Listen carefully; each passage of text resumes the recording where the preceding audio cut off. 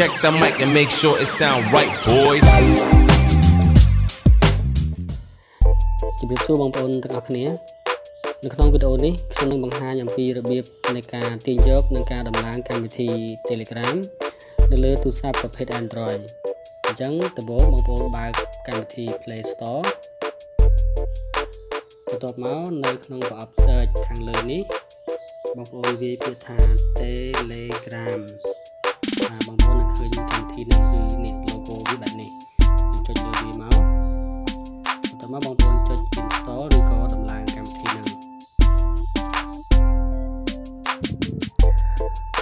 បន្ទាប់ពីយើងទាញកម្មវិធីនឹងបានហើយបងប្អូនអាចបើកកន្លែងនេះតែម្ដងក៏បានឬក៏យើងថយចេញមកសិនក៏បានដែរឥឡូវខ្ញុំថយខ្ញុំថយចេញមកសិនបាទនេះគឺកម្មវិធី Telegram ហ្នឹងបន្តមកទៀតគឺយើងតម្លើងវាអញ្ចឹងយើងចុចបើកវាមកបងប្អូនចុចប៊ូតុងនេះវាថា start messaging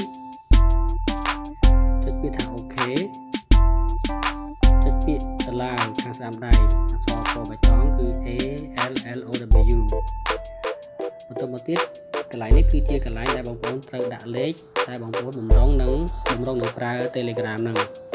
ថាតើវាគឺជាលេខហ្នឹងឬក៏មិនមែនទេដោយសារ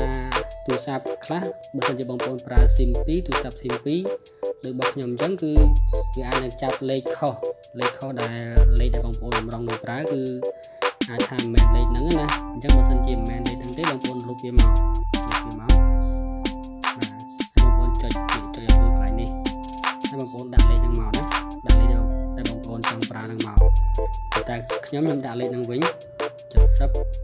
48 70 60បាទអញ្ចឹងគឺលេខហ្នឹងគឺលេខដែលយើងត្រូវប្រើ Telegram ហ្នឹងបាទអញ្ចឹងបន្តមកទៀតចុចសញ្ញាព្រួយទៅមុខចុចពាក្យ OK ម្ដងទៀត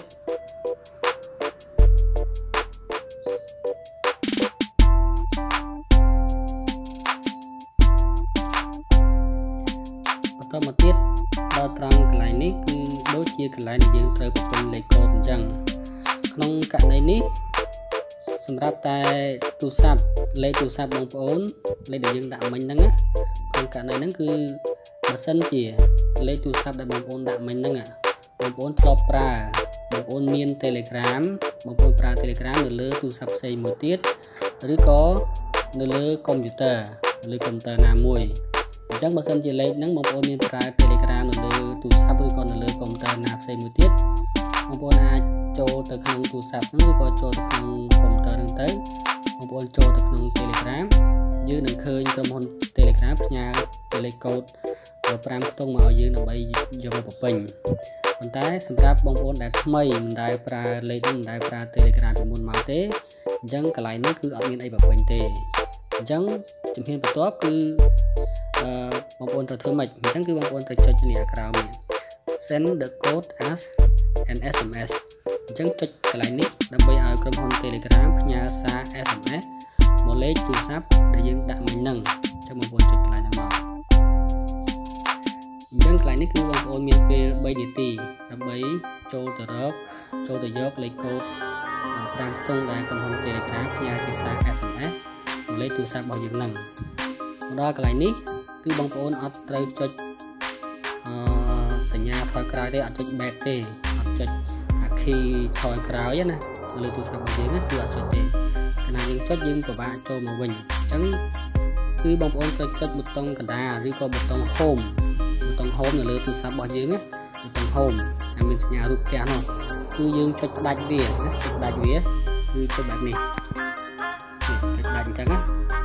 បន្ទាប់ពីយើងចុចផ្ដាច់អញ្ចឹងហើយបងប្អូនទៅរកប្រអប់ប្រអប់សារ SMS លើទូលើទូរស័ព្ទរបស់យើងហ្នឹងវានៅកន្លែងណា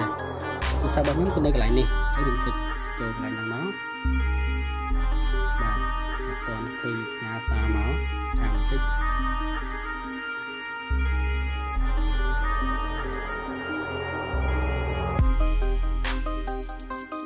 បាទវាអាចនឹង ពេលខ្លះវាអាចនឹងយូរដែរវាអត់ផ្ញើមកភ្លាមភ្លាមបានផ្ញើមកណាគឺអឺ59 387 59 387បន្ទាប់ពីយើងឃើញកូដហ្នឹងហើយតើតើយើងធ្វើម៉េចបាទ ធ្វើម៉េចបងប្អូនអាចកត់អាចកត់នៅលើกระดาษទុកក៏បានឬក៏បងប្អូនអាចចុចទៅលើទូរស័ព្ទរបស់យើងណាគឺសញ្ញាត្រេ3អាចថានៅខាងឆ្វេងឬក៏ខាងស្ដាំសម្រាប់ទូរស័ព្ទរបស់ខ្ញុំគឺខ្ញុំចុចខាងឆ្វេងឲ្យវាចេញបែបនេះបន្ទាប់ មកយើងត្រឡប់ចូលទៅ Telegram មើលកូដរបស់ទៅសិនគឺ59387នេះចុចនេះ Telegram ចុចនេះគឺ59387មកយើងចុចពាក្យថា continue continue គឺចុចពាក្យថា allow មកចុចពាក្យ allow ហើយចុចពាក្យ allow ទៀតបាទពេលដែលយើងចូលដំបូងគឺវាចេញបែបហ្នឹង ហើយដោយសារ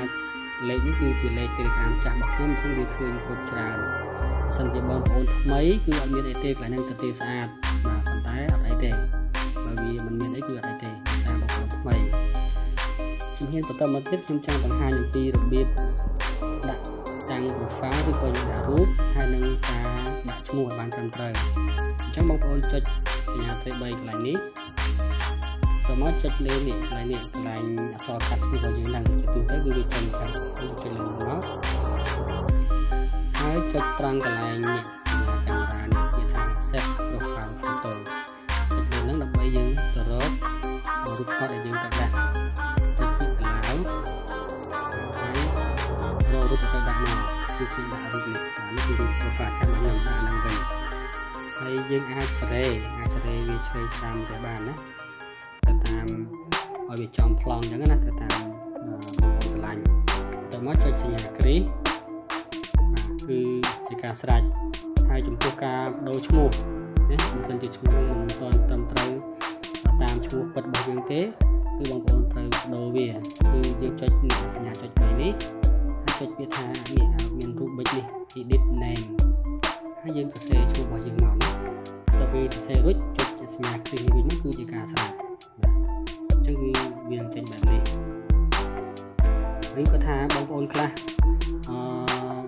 Telegram ចាស់ទេចង់បដូរឈ្មោះចង់ដាក់រូបអីអញ្ចឹងគឺ